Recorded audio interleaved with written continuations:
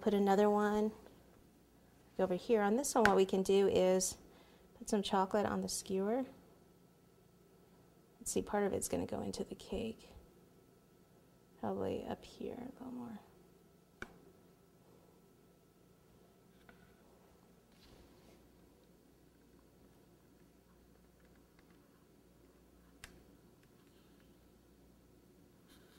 Make sure you go all the way down into the board. And since it's a cardboard at the base, it's even a good idea to just take a little tack hammer and go all the way through the cardboard just to support it a little bit more. Okay, then we're going to stack this other heart on top like this.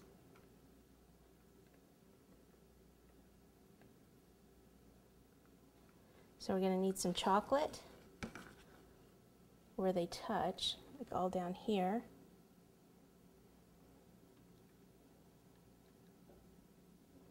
So the thinner you can get these, the better. The hearts, they could even go a lot thinner than this would be.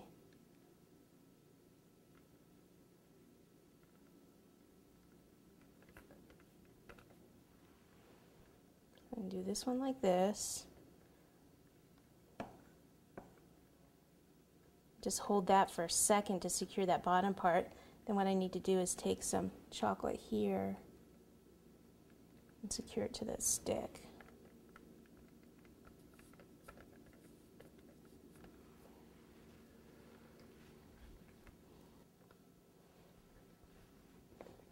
Okay, and then our last one is going to go at this angle. You almost have to wait for those to dry just a little bit. And we are going to have to angle, let's see.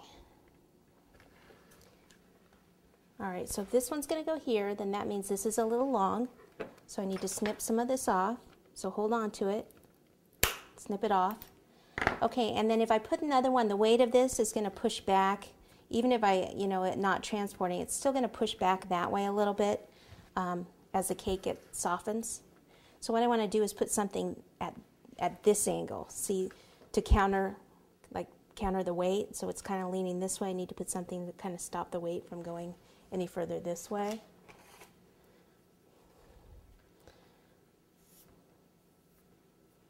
Okay, so it's something probably, let's see, if we pushed it in there.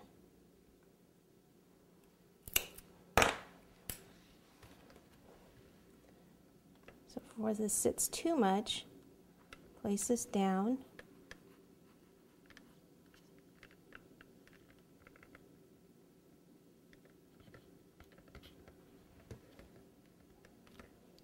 Okay, it's not quite set yet.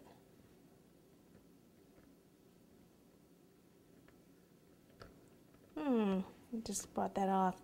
And I have to put some more chocolate now.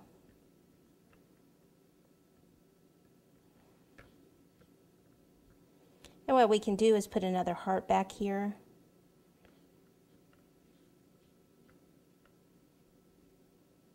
Which is not a bad idea. I have the weight of another heart back there.